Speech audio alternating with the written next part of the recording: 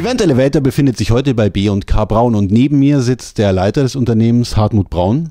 Herr Braun, die Branche hat zurzeit den Eindruck, dass B&K Braun seit einiger Zeit eine ganz große Qualitätsoffensive startet. Ist das richtig? Da ist auf jeden Fall was dran. Also die Firma B&K Braun wird sich komplett neu reorganisieren, neu aufstellen, äh, äh, visionär in die Zukunft schauen und zwar auf mehreren Ebenen. Wir werden äh, sehr viel äh, Geld in die Innovationen stecken, in neue Produkte im LED-Bereich. Wir werden sehr viel Geld in den Neubau stecken, wo wir einen kompletten Neubau mit 10.000 Quadratmeter erstellen. Wir werden äh, neue Leute einstellen. Wir haben eine komplett neue Software im kompletten der Finanzbuchhaltung plus äh, Rechnungswesen, Warenwirtschaft äh, im, im, im Anlaufe jetzt schon und äh, werde uns uns komplett neu äh, aufstellen und in die Zukunft schauen. Auch die Vertriebsprodukte, die neu hinzugekommen sind im Lichtsektor, wie beispielsweise die Medienserver von Green Hippo ganz aktuell, gehen ja in diese Richtung. Ist denn für die Audiosparte von B&K Braun ähnliches geplant? Äh, für den Autosektor haben wir mit unserer Cirrus Pro eine Mittelklasse-Marke. Da sind leichte Verbesserungen äh, geplant, aber äh, unsere Stärke liegt mehr im Lichtbereich und im äh, Traversebereich, wie jetzt sagen wir im Soundbereich.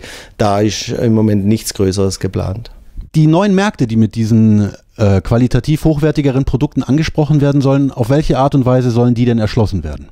Die äh, neuen Märkte sollen erschlossen werden durch Außendienstvertrieb. Wir möchten sozusagen noch Außendienstvertriebler einsetzen in, in, äh, im Traversebereich, im LED-Bereich, für Theater, für mehr on Stage, mehr für die großen Verleiher, äh, werden wir mehr auf der Außendienst bauen in Zukunft. Jetzt steht ja in Kürze die ProLight Sound ins Haus. Worauf darf sich denn der Besucher da freuen? Also die, die ProLight Sound ist für uns das wichtigste Messeereignis im Jahr und äh, wir werden dieses Jahr noch eine Schippe auflegen. Das heißt, wir haben den Stand Phoenix, wir haben den Stand Global Trust, wir haben den Stand äh, B&K Braun, wir haben den Stand äh, mit GLP Chilek. Also das heißt, wir sind eine sehr gro große Gruppe äh, von Karlsbad aus oder die Braun-Gruppe, wie ich es als nenne, ein bisschen.